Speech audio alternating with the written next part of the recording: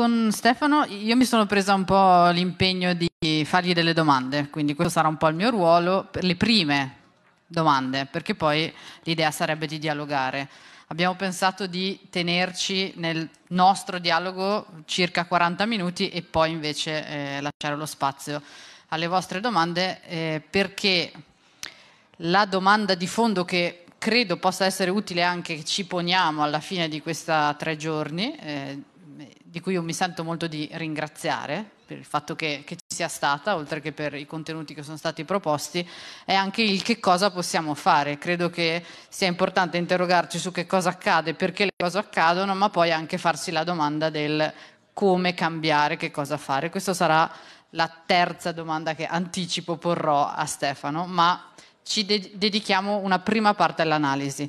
Dico due cose del eh, perché ho accettato di questo dialogo, eh, sono anche un po' emozionata, e perché nella, la, la, mia esperienza è legata a un'esperienza che si chiama Bilanci di Giustizia, che è una campagna che ha ormai quasi 30 anni e mm, che si quindi da, a partire da metà degli anni 90 ha cominciato a chiedersi quando l'economia uccide come cambiare, anzi è partito dallo slogan quando l'economia uccide bisogna cambiare, quindi lo sguardo è proprio quello dell'oltre economia, dell'economia alternativa, del guardare con uno spirito critico l'economia capitalista, chiedersi quali sono le conseguenze negative di quel sistema e provare a cambiare, a partire dal bilancio familiare, per questo la parola bilanci di giustizia.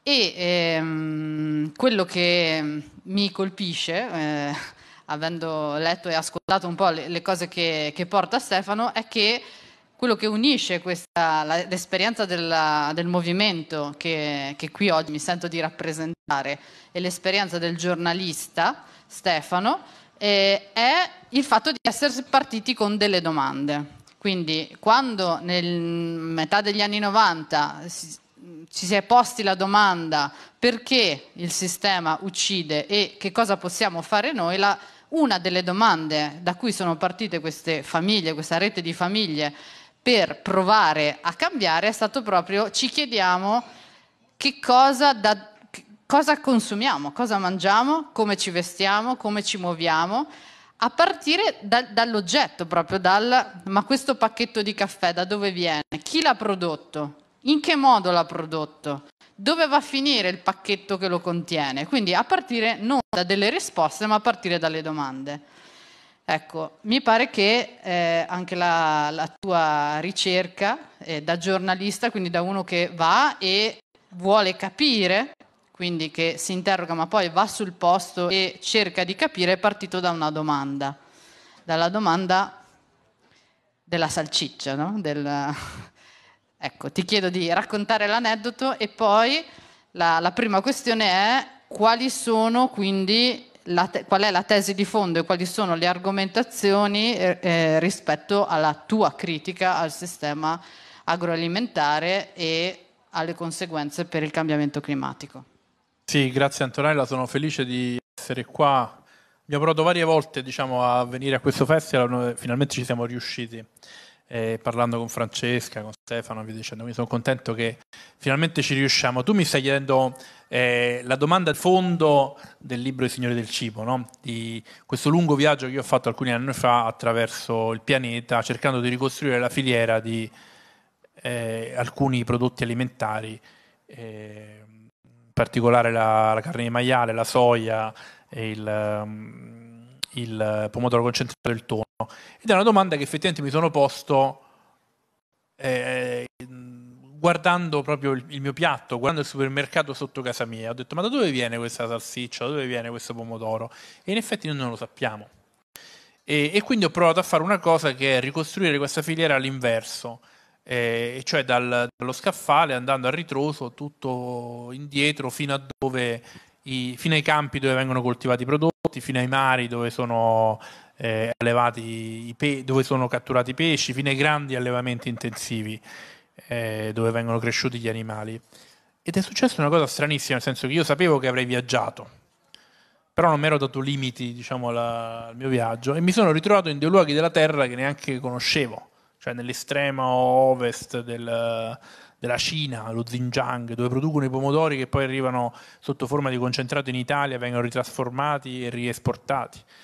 Nei grandi allevamenti intensivi sempre in Cina, negli Stati Uniti e anche in Europa, nei, nelle grandi distese del Sud America dove viene prodotta la soia che ancora una volta viene utilizzata eh, la, nella zootecnia. Insomma, un grande viaggio globale intorno al mondo, a partire dalla salsiccia di qui sopra, che dimostra sostanzialmente che le, le, le, filiere agroalimentari ormai sono super globalizzate, sono eh, caratterizzate da viaggi spesso totalmente irrazionali, eh, per cui appunto il pomodoro attraversa il pianeta e, ed arriva in un posto dove il pomodoro si produce, ma ha un costo maggiore e quindi eh, si compra quello che viene fatto a 20.000 km di distanza. E, e che soprattutto sono controllate da grandi gruppi, ognuna di queste filiere è controllata da grandi gruppi che sostanzialmente in grado di fare delle grandi economie di scala e, e di produrre un cibo ad un costo che è sempre più basso, ma che non tiene conto di quelle che sono le esternalità, e cioè i costi ambientali. E qui veniamo anche al tema dei cambiamenti climatici, no? i costi ambientali di un certo tipo di produzione che non vengono introiettati nel, nel prezzo che, che, io o Antonella o chiunque di voi paghiamo quando andiamo al supermercato, ma che diventano delle esternalità negative dei costi eh, sociali o ambientali che ricadono sulla comunità intera, sugli ecosistemi e, e via dicendo.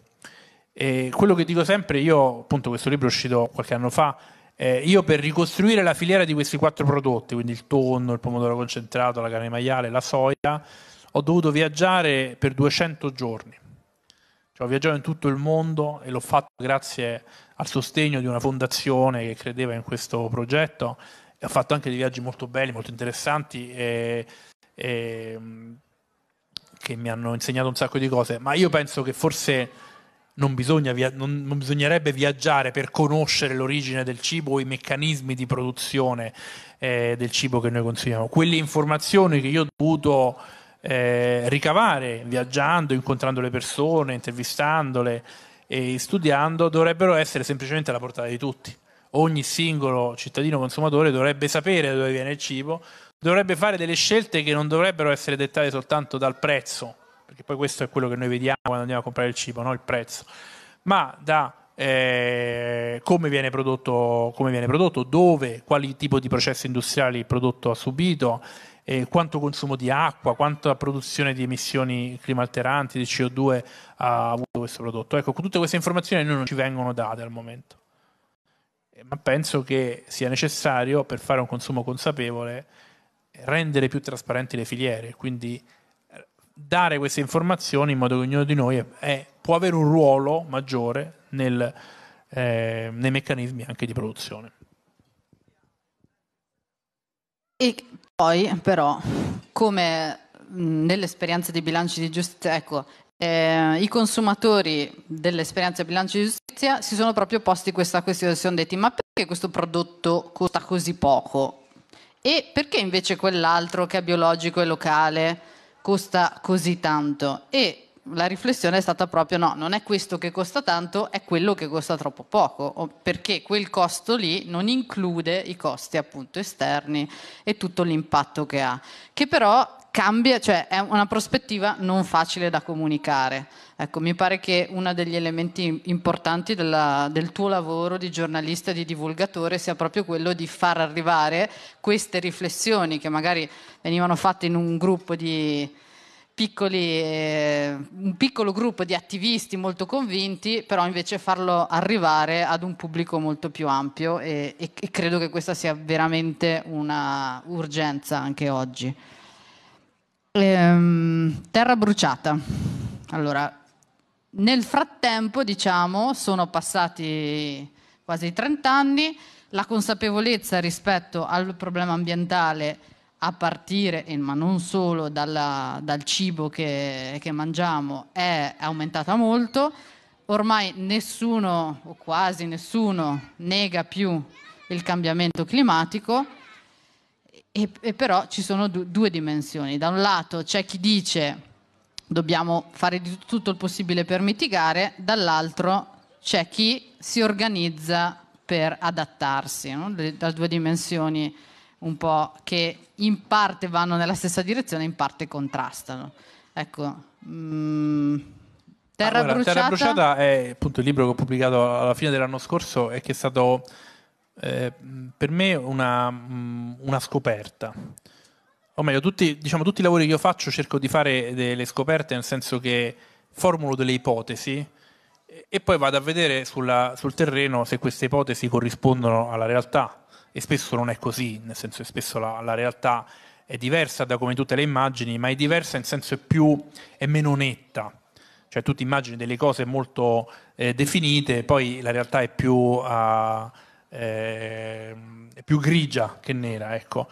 E, e quindi io nel 2019 ho pensato girando per l'Italia, a me capita molto di girare, ho visto che effettivamente mi sembrava che eh, gli effetti dei cambiamenti climatici in Italia fossero più vistosi di quanto venisse raccontato da, eh, da noi stessi giornalisti. Cioè di, che tendiamo a dire che c'è il cambiamento climatico ma è qualcosa che riguarda le generazioni future, eccetera. E allora ho cominciato un viaggio attraverso l'Italia, sull'arco alpino, poi giù nella pianura padana, lungo il Po, a Venezia, in Trentino sono venuto un paio di volte, e, insomma ho girato tutta l'Italia, in Sicilia, in Sardegna, sono stato qualche mese in giro per quelli che mi sembravano i luoghi eh, più interessanti o, le, o, gli argomenti più interessanti da trattare e mi è successa una cosa par- molto particolare, nel senso che forse per la prima volta nel mio lavoro giornalistico la realtà si è dimostrata più radicale, più netta, più drammatica anche dell'ipotesi di partenza di come me la immaginavo. E quindi la tesi che poi ho sviluppato nel libro è più radicale tesi, dell'ipotesi che avevo eh, formulato. Perché ho visto girando per i territori che l'Italia è uno dei paesi europei, forse il paese europeo più colpito dagli effetti del cambiamento climatico in termini di eventi estremi atmosferici che ormai avvengono con una frequenza straordinaria di aumento di temperature, di aumento dei livelli dei mari, di incredibile aumento di specie aliene che colpiscono i nostri le nostre produzioni agricole e non solo. E quindi l'Italia è il più colpito, è il paese più colpito, però paradossalmente è il paese dove in Europa si parla di meno di questo, eh, di questo tema. Eh, un po' per responsabilità anche di, dei media, un po' per responsabilità della politica che non è in grado di elaborare un discorso su questa, eh, su questa tematica. E, quindi io ho, ho raccontato questi viaggi perché ho cercato di raccontare il cambiamento climatico a partire dalle persone che lo vivono, cioè ehm, a partire da coloro i quali stanno sui territori e quindi percepiscono come stanno cambiando molto repentinamente i territori, gli agricoltori, gli allevatori, i pastori, gli apicoltori, ma gli operatori del turismo, insomma, le persone che stanno sul territorio e che vedono come stanno succedendo una serie di cose molto gravi e che noi tendiamo come dire, a raccontare in modo uh, frammentario per tutta una serie di ragioni. Eh. Eh, secondo me c'è anche un meccanismo di rimozione, di sublimazione di un problema che effettivamente forse è troppo grosso per essere eh, affrontato direttamente. E, e, e, quello che ho cercato di fare poi nel, nel, nel libro è cercare di dare un volto e una, una, diciamo una, una concretezza nella descrizione dei territori delle persone, perché mi sono detto com'è che giornalisticamente no? il, il, cambiamento climatico è la grande storia dei nostri tempi, in Italia ma anche altrove c'è qualcosa che sta accadendo, ma non, viene, ma non riesce a bucare lo schermo. No? E allora mi sono risposto che questo non avviene perché spesso è presentato come una sfilza di dati. No? Se ci pensate si dice che la temperatura globale è aumentata di 1,2 gradi centigradi dall'epoca preindustriale. Tu dici vabbè... Ehm, in Italia è aumentato di 2,2 in realtà, che è una temperatura pure molto elevata, però non arriva. Oppure il livello del mare si è alzato di 20 cm dal 1800. Quando tu a questi dati, che sono freddi, metti eh, delle persone, no? li, li, gli dai una concretezza per cui ci sono le persone che vivono sul territorio e che vedono queste cose e te lo descrivono, che vedono che non riescono più a produrre i pomodori o le arance in Sicilia iniziano a produrre i manghi eh, oppure che vedono ridursi del 50% come è successo quest'estate la produzione di pesche perché eh, c'è stata una gelata ad aprile, quindi sono a, a aprile, fine aprile, inizio maggio e quindi ha distrutto tutta la produzione di pesche in Emilia Romagna e di pere anche. Quindi come vedi questa cosa come dire, impatta sulla vita delle persone, forse diciamo, eh, è più facile che arrivi il messaggio. Allora, ci racconti un paio di queste storie? Sì, io eh, diciamo le storie che più mi hanno eh, ci sono varie storie, io ho viaggiato diversi mesi, tra l'altro è stata una cosa abbastanza strana, strana impressionante, eh, perché dovunque andavo finivo in mezzo a eh, eventi estremi, sembrava che io portassi, eh, diciamo, il, ero il messaggero del cambiamento climatico e della sfiga sostanzialmente. E vi racconto una, un aneddoto che è sintomatico. No? Io ovviamente tu fai un libro sul cambiamento climatico in Italia, metti in campo una missione a Venezia perché come non puoi non parlare di Venezia, che è il simbolo eh, globale di questa cosa. E allora io ho, avevo organizzato con un eh, dovuto anticipo una missione di 5-6 giorni, una settimana a Venezia, in cui avrei incontrato i, gli esperti del centro mare, gli esperti del, del, CNR, più vari abitanti, insomma avevo messo in piedi una serie di incontri, eh, organizzandolo e mettendo in conto di arrivare a Venezia il 12 novembre del 2019 e quindi io, io, arrivo quel giorno e la mattina c'è un po' di acqua alta, un po' tanta, però ancora eh, eh, ragionevole. Vado a vedere al centro mare, eh, parlo con loro, mi faccio spiegare. Loro mi dicono: Ma questa sera ci aspettiamo qualcosa di un po' più grande. E lì è avvenuta l'Apocalisse, eh, è venuta la seconda acqua alta più grande, della, più alta della storia di Venezia, quella appunto del 12 novembre di anni fa eh, 187 centimetri, una cosa mai vista, soprattutto quattro acque alte di file, sono stato lì una settimana sostanzialmente a, eh, a nuotare tra le calli di Venezia e a vedere in presa diretta quello che, eh, che voleva dire, eh, come la città reagiva a questa cosa o cercava di reagire a questa cosa, salvo poi doverci tornare in tempi di pace, diciamo a, a dicembre, poi ci sono tornato per parlare con le persone che non ero riuscito a incontrare perché alcune persone ovviamente erano impossibili da incontrare in quel frangente. Dopodiché vado in Sardegna a vedere una, una, un giardino fenologico, una cosa interessante di come una stazione eh, arborea che misura il cambiamento climatico e mentre vado lì mi esonda di fronte a un fiume eh, con la macchina. Poi vado nel, nel Bellunese durante, a settembre, quindi in tempi tipo così, per vedere i territori colpiti dalla tempesta Vaia e inizia a nevicare per cui adesso i miei amici mi dicono: Guarda, quando devi venire dalle nostre parti, diccelo in anticipo che ce ne andiamo. Però a parte questo. Vai via domani mattina esatto, presto. Sì, eh? esatto, parto, non vi preoccupate. Forse anche stasera vado via, non c'è problema. No, ma a parte gli scherzi, eh, eh, io quindi ho visto effettivamente. Eh, mentre ricercavo accadevano le cose, prima cosa. Seconda, ho visto tutta una serie di persone che racconto nel libro che sono de- quelle che io chiamo delle sentinelle ambientali, cioè delle persone che sono sui territori e che vedono e restituiscono. Sicuramente forse ce ne sono tantissime in realtà. Quello che eh, mi è rimasto molto colpito è quello che io metto all'inizio del libro, che è un signore che vive, che fa agricoltura a 1800 metri a, in Valle d'Aosta, a Cogne, e, anzi in una frazione di Cogna che sta ancora più alta di Cogna, quindi che si chiama Gimillano. È un signore che si chiama Giorgio Elter e fa, una, e fa agricoltura biologica, super biologica, anche perché lì c'è solo lui che fa agricoltura.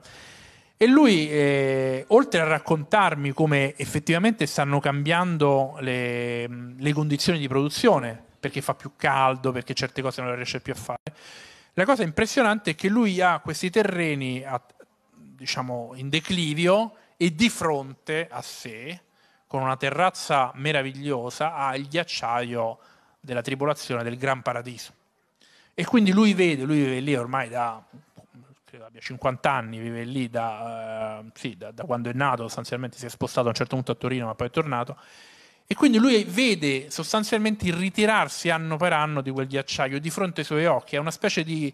è come se lui avesse un palco sul cambiamento climatico che avviene. E quindi ho passato una giornata insieme a lui che mi raccontava questa cosa e la cosa incredibile di questa, di questa persona è che lui è un agricoltore di montagna, quindi è una persona assolutamente scostante, diciamo, caratterialmente, no? è un montanaro, eh? E ha scelto, poiché vive questa cosa giorno per giorno di fronte a sé, ha scelto insieme ad altri di fare una causa all'Unione Europea perché l'Unione Europea non fa abbastanza contro i cambiamenti climatici, cioè ha scelto la ribalta, diciamo, perché poi ovviamente ha fatto causa e sono arrivati i giornalisti, sono arrivati gli avvocati, insomma si è messo in mezzo a queste cose. Quando dici ma tu, quando io appunto ci ho passato una giornata insieme, dopo un po' eh, comunque riesci anche a eh, sciogliere, a rompere il ghiaccio, Gli ho detto, ma Giorgio, ma com'è che te, cioè, non mi pare il tuo carattere questo di, no, di... E lui mi ha detto, guarda, io me ne stavo tranquillo qui a fare agricoltura, però questa cosa è talmente grande, è talmente gigante. Io ho quattro figlie e voglio che appunto venga fatta qualcosa tempestivamente, siccome gliela sto vedendo, penso che mi devo spendere in prima persona. E tutte le persone che ho incontrato sui territori più o meno dicono la stessa cosa, stanno succedendo delle cose grandi che non sono raccontate o che sono raccontate poche, dobbiamo tutti spenderci in prima persona affinché eh, questa cosa avvenga. Ho raccolto una specie di grido corale, che però non è un grido di disperazione, no? è un grido di azione, questo mi ha molto colpito e mi ha anche rincuorato. Cioè ci sono delle persone che sui territori stanno facendo delle cose che hanno difficoltà a mettersi a sistema, che è un po' la difficoltà tutta italiana, no? che non sai mai cosa accade nel territorio accanto al tuo, ma che però stanno facendo. Quello che manca è un raccordo a livello politico, a livello centrale, a livello di strategia nazionale. Quello non c'è, perché a livello, nei, nei, nei grandi ministeri a Roma questo tema è considerato un tema, un non tema. Anche nel piano nazionale di ripresa e resilienza, che pure parla di resilienza, il tema di, dell'adattamento dei nostri territori, che sono quelli più colpiti in Europa dagli effetti dei cambiamenti climatici, di fatto è assente. Si parla tanto di transizione ecologica, di, eh, di transizione energetica, di mitigazione, quello sì, di decarbonizzazione, che è un tema importante. Eh? Tu dicevi prima la mitigazione e l'adattamento. Non si parla per niente di adattamento. Allora io dico, la mitigazione è importantissima, però è un processo globale rispetto al quale noi in Italia, essendo 60 milioni di abitanti in un paese ormai non più granché industrializzato, possiamo avere un ruolo molto eh, piccolo. L'adattamento è un'urgenza che, che, che, invece è tutta nostra e sul quale, bisognerebbe investire moltissime risorse, ma non fa parte del dibattito pubblico. Cioè i nostri territori franano sotto l'effetto del cambiamento climatico, i nostri campi coltivati si inaridiscono, eh, le produzioni appunto agricole si assottigliano, ma non è un tema. È come se ci dicessi, se noi proviamo a ragionare sugli danni e a mitigarli, cioè ad adattarci, questo ci farebbe anche interrogare sul perché accadono forse queste cose. Magari partiamo dal che cosa fare per cambiare, per vedere... Le due cose poi sono interlacciate perché ovviamente eh, io dico sempre il cambiamento climatico, come peraltro la crisi sanitaria che abbiamo attraversato e che tuttora attraversiamo, uno la può leggere come una un evento drammatico oppure come un'opportunità per riflettere su quelli che sono le, eh, gli errori del nostro modello di sviluppo. No? Allora, eh, tu puoi dire eh, un certo modello di sviluppo eh, energivoro, estrattivista, ha prodotto una, produce, ha prodotto la crisi sanitaria del virus, del SARS-CoV-2, perché appunto la deforestazione ha avvicinato virus che una volta erano relegati in luoghi selvatici a luoghi abitati dagli esseri umani e quello stesso modello ha prodotto emissioni e prodotto cambiamento climatico. Quindi forse la natura ci sta dicendo vi siete spinti troppo in là, bisognerebbe rivedere questo modello a livello globale. A livello nostro, perché l'Italia è un paese particolarmente colpito dai cambiamenti climatici? È quello che gli scienziati chiamano un hotspot climatico. Un po' perché è al centro del Mediterraneo, quindi abbiamo una posizione geografica per cui il mar Mediterraneo si sta scaldando più rapidamente degli oceani, libera più energia dall'atmosfera, ci sono questi eventi estremi a cui noi da, da bambini non eravamo abituati, sostanzialmente. Trombe d'aria, queste piove, quando piove la grandine, quando cade la grandine con chicchi di due centimetri è una cosa nuova, no? Però la posizione geografica è quella, non è che, possiamo, non è che possiamo spostare il nostro paese altrove. Poi l'Italia ha una morfologia... Eh, molto varia ma anche molto complicata. È un paese fatto di colline e di montagne che quindi tendono a franare quando ci sono eh, questi eventi.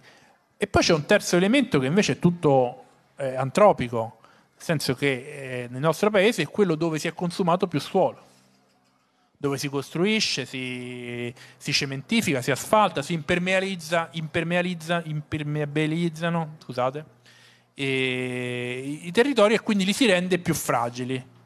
L'Italia si consumano 2 metri quadri al secondo, no? Se, secondo i dati dell'ISPRA. Ecco, questo terzo punto ci dovrebbe interpellare e dire vabbè, noi abbiamo portato avanti un modello di sviluppo urbanistico e infra- infrastrutturale e via dicendo, tarato sullo scenario climatico degli anni, degli anni del boom economico. Ma quel clima lì non c'è più, è cambiato. Non c'è più il clima mediterraneo per intenderci. Adesso noi abbiamo delle estati caldissime, degli eventi estremi continui e quindi anche le nostre infrastrutture sono, e i nostri territori non, non rispondono più a quel clima, devono essere cambiati e quindi deve essere cambiato il modello di eh, gestione del territorio avendo una maggiore cura e in che, facendo in modo che i territori siano, come si dice, più resilienti. Quello dovrebbe essere lo scarto. Però per fare una cosa del genere ci vogliono degli investimenti ingenti, ci vogliono delle risorse, delle intelligenze, degli, delle, dei, dei, soldi banalmente, che devono essere spesi per rendere i, i territori più adattati. Nel PNRR c'è qualcosa, ma c'è molto poco su questa cosa. Si parla, c'è qualcosa sul dissesto idrogeologico, in effetti, ma non c'è una, una, una, diciamo un'allocazione di fondi che è commisurata all'enorme urgenza che abbiamo, che abbiamo, di fronte. Anzi, se proprio dobbiamo dirlo, qui in Trentino il PNNR verrà usato per fare una galleria che passa sotto questa montagna per fare una circonvallazione ferroviaria. Quindi se proprio siamo esattamente nella direzione opposta a quello che stai dicendo, non solo non si spendono le risorse per fare quello che si dovrebbe, ma si spendono quelle risorse per fare esattamente l'opposto che, che, che si dovrebbe. Allora, um, sulla pandemia così hai detto delle cose, poi magari eh, lo approfondiamo, però passerei alla terza, insomma, alla questione finale perché ehm, tu già all'inizio delle tue ricerche poni la domanda perché preferiamo non sapere. E mi sembra che anche qui, rispetto al tema della, del, del, disastro Italia per, sul cambiamento climatico, torna la domanda. Adesso eh, noi, per dire, Vaia per noi è stato sicuramente l'evento più eh, impattante anche dal punto di vista visivo, tant'è che tra l'altro è, è così visibile tutt'oggi Ancora, che ogni volta sì. che, che, che passi... Tra solo in Trentino no. ci sono state effettivamente anche dei, dei, delle vittime, poche, diciamo, poche commisurate all'enormità della... Però tutto sommato a me verrebbe da dire che se facciamo un sondaggio, adesso sicuramente non qui perché qui siamo tutti molto consapevoli, ma eh, chiedendo ma eh, c'è stato un, uh, un, evento drammatico dal punto di vista del... Uh, del clima in Trentino, non so quanti se, se, lo ricordano, perché come dicevi abbiamo un po' la tendenza a, a dimenticare, a rimuovere. Allora adesso ti faccio questa domanda, capisco che non, non c'è una risposta e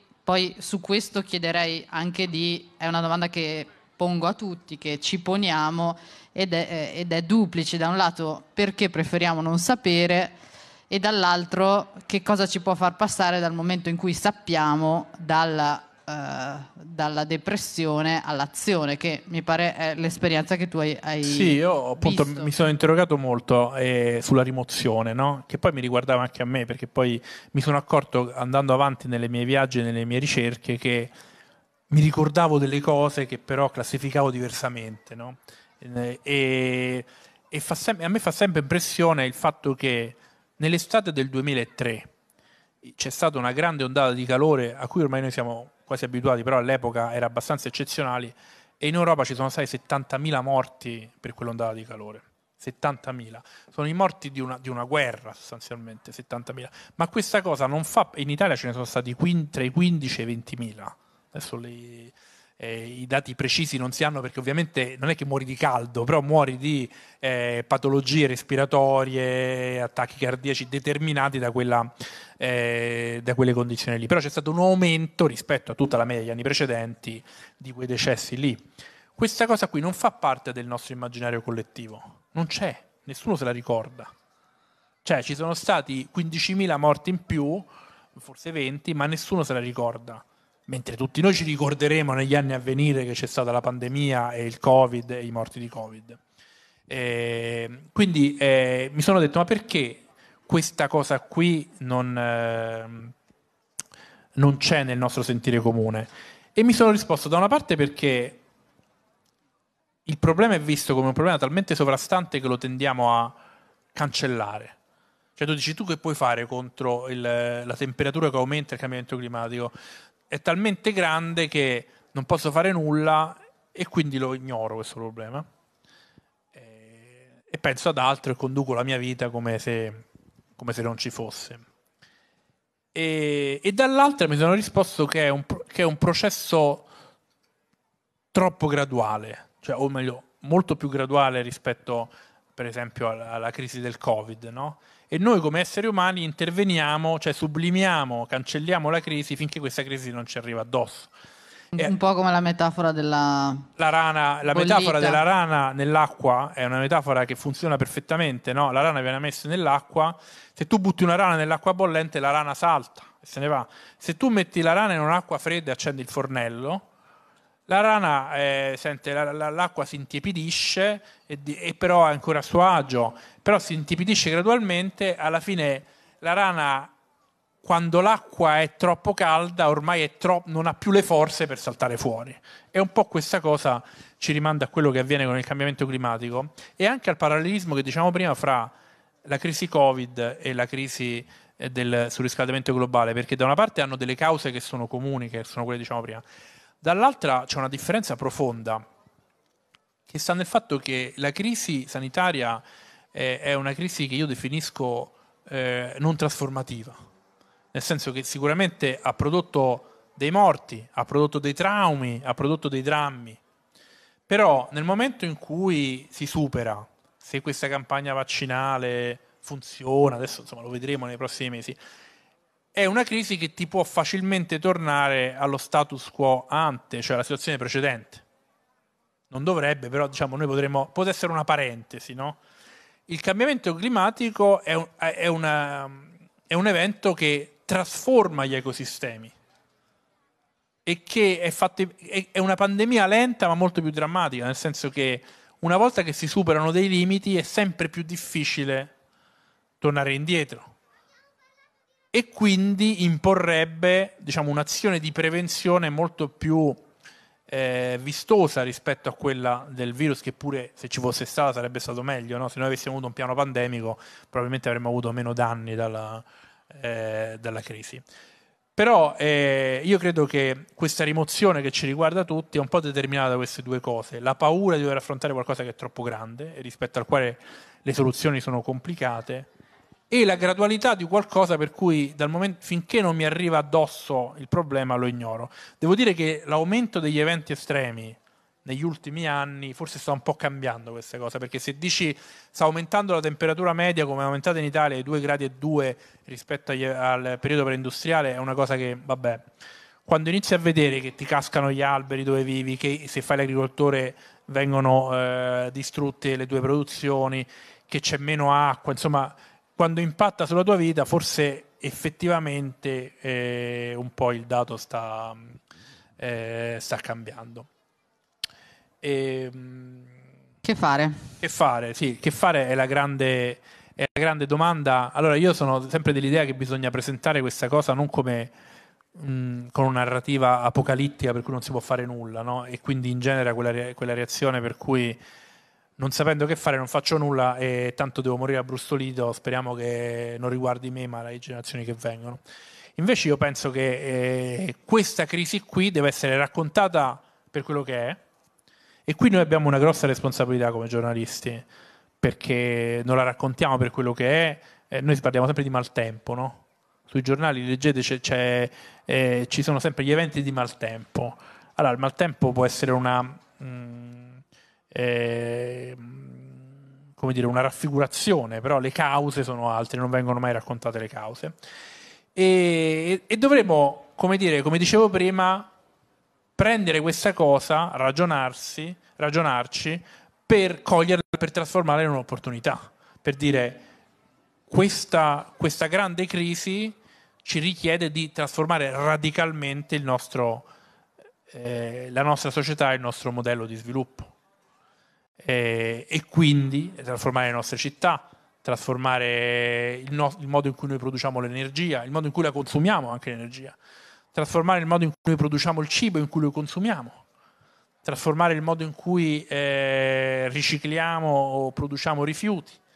Insomma, questa cosa qui ci sta dicendo che noi non possiamo portare avanti quel modello di sviluppo che andava bene prima, o meglio non andava bene ma non produceva questi cataclismi, e ripensare tutto il nostro vivere, il nostro vivere insieme, a partire, da, a partire dai comportamenti quotidiani. Devo dire che i comportamenti quotidiani hanno un effetto, ne parlavamo anche prima con Antonella, hanno un effetto, mh, un effetto farfalla, tu dicevi bene, culturale, no? nel senso che eh, si diffonde la consapevolezza. Dopodiché io penso che i grandi cambiamenti devono essere veicolati dalla politica, perché il, il, singolo, io l'altro giorno parlavo, l'altro ieri con Gaël Giraud, non so se qualcuno di voi lo conosce, è un, un importante studioso francese che, è poi, che è diventato gesuita e che è, di fatto è, dicono, lui dice di no, ma tutti dicono che è il ghostwriter della Laudato Si di Papa Francesco, no? Lui dice se chiunque di noi vivesse come un francescano, cioè riducesse la sua impronta ecologica, no? Eh, quindi diventasse vegetariano, si muovesse solo in bicicletta, eh, non avesse elettrodomestici, comunque può ridurre, le, le, le emissioni possono essere ridotte del 25%. E, e, sicuramente diciamo, nessuno di noi aspira a vivere solo come un francescano. Quindi lui dice, lui, lui dice grandi, i grandi cambiamenti devono essere veicolati dalla politica e ci deve essere un'enorme transizione verso un nuovo modello di sviluppo e questo lo penso anch'io, dopodiché credo nella, nell'azione individuale che però non deve essere alibi per un non intervento dei grandi attori, quindi della grande industria o della, o della politica, perché se no diventa, come dicevamo prima, la pubblicità di Eni che dice Eni più Giulia o Eni più Paolo è meglio di Eni, tutti voi l'avete vista sicuramente, no? in cui la, la, grande azienda di produzione di estrazione di combustibili fossili poi si rifà la coscienza perché eh, pubblicizza quello che fa i vestiti con il materiale riciclato. Ecco. Eh, io penso che l'azione individuale deve diventare azione collettiva per poi fare pressioni sulla politica affinché si prendano delle decisioni che siano importanti e che siano radicalmente eh, rivolte ad un, ad un mutamento sostanziale del modello di sviluppo.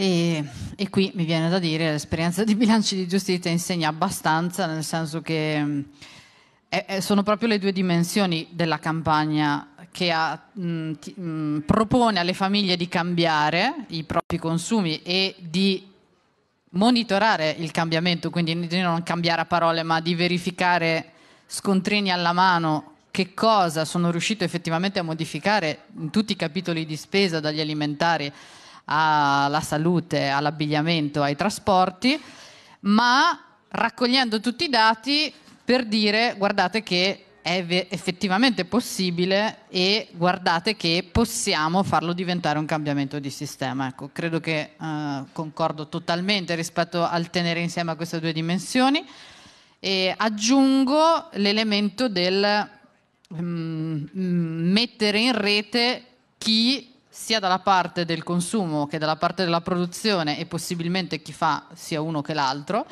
eh, effettivamente sta già producendo cambiamento. E, e, da questo punto di vista il Trentino non, è, non sarà all'avanguardia, però sicuramente ci sono tante esperienze. E penso alle esperienze dei gruppi di acquisto solidali, mm, penso alla Fiera Fa la Cosa Giusta che rappresenta comunque un momento in cui si rende anche molto visibile qual è il mondo dell'economia solidale in Trentino. Penso all'esperienza dell'emporio che si sta cercando di costruire. Ecco, e qui rilancio, abbiamo mantenuto l'impegno dei, dei 45 minuti e su questa domanda del che fare mh, vorrei aprire eh, la discussione, il confronto